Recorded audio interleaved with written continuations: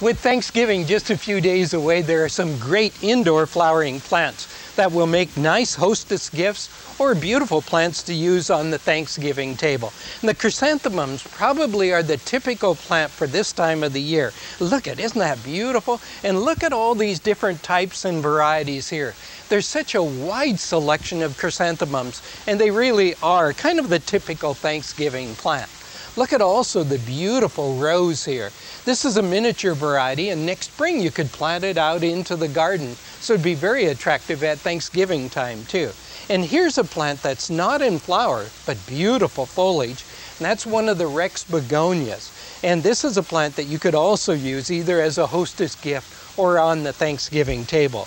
And the little kalanchoes are really outstanding plants. They'll still be in bloom at Christmas time, but they come in such a wide variety of colors that they really are super for Thanksgiving or during the holiday season. And the winter flowering azaleas, these are plants also that can be kept over and planted out into the garden next year but they'll flower for a long period of time. Remember, they require a little bit more watering attention than other plants. So watch the watering very closely. If they once dry out, it's difficult to get them wet again. And here's a traditional Thanksgiving plant too. And that, of course, is the beautiful Thanksgiving cactus. There are Thanksgiving cactus, Christmas cactus, and Easter cactus. So there are a whole bunch of different types. Uh, give them bright light, but protected from uh, full sunlight. And here's another nice plant that does a good job of purifying the air, cleaning the air in the home and it comes in a wide variety of colors. It's called, of course, the Gerbera daisies, a beautiful plant for use in the home. And of course, the small African violets come in such a wide range of colors, really makes them very attractive plants to use in the home, particularly in a small area or maybe on a shelf or a bookcase or a similar spot.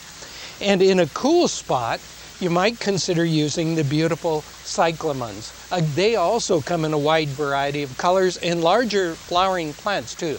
This happens to be one of the miniatures or smaller growing varieties, but there are some that are even more miniature than that. Or you could use such plants as the anthurium. And this tropical plant, of course, requires a little bit more protection from the sun. It likes kind of a warm area, but where it doesn't get direct light. And as you can see here, we have shown you just a broad selection of very beautiful flowering plants that not only would be attractive on the Thanksgiving table, but also make excellent hostess gifts. And you'll find these at most of your nurseries, garden centers, and places that sell plants.